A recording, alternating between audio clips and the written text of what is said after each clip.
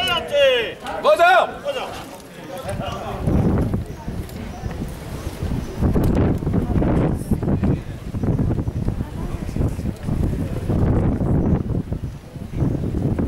Portez, vos ordres Portez, vos ordres.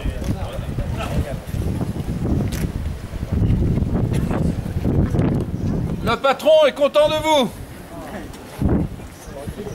Malgré les intempéries qui, encore une fois, nous empêchent de, de nous faire plaisir complètement.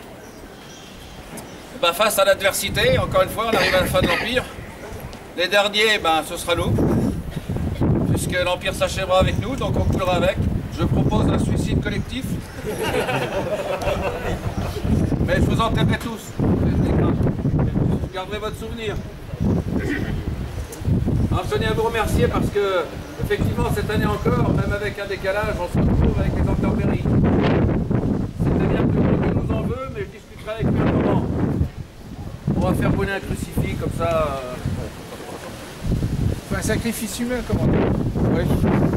Alors, ceci dit, je voudrais remercier aussi nos amis étrangers. Bertrand, peux nous faire la, la traduction.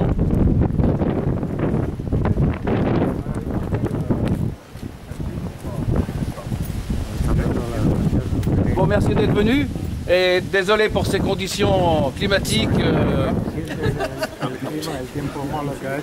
c'est désolé. Mais merci d'être venu d'aussi loin, parce que c'est la première fois euh, depuis 1809 que des Anglais sont présents.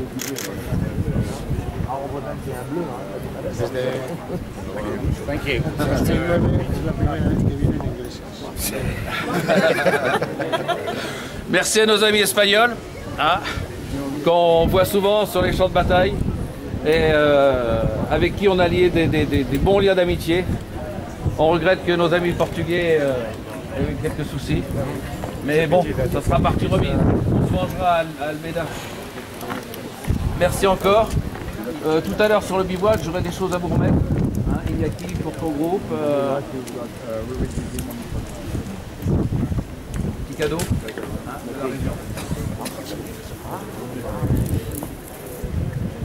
Merci à nos amis du Nord nous ont ramené ce beau temps, parce que je pense que ça vient de là. Hein Nous ne sommes pas égoïstes. le. Grand Nord, un peu plus, on avait de la neige. hein. La prochaine fois, on va réfléchir avant de nous faire venir. hein. Ouais. Oui, il y avait des espagnols. La garde Les vieux de la vieille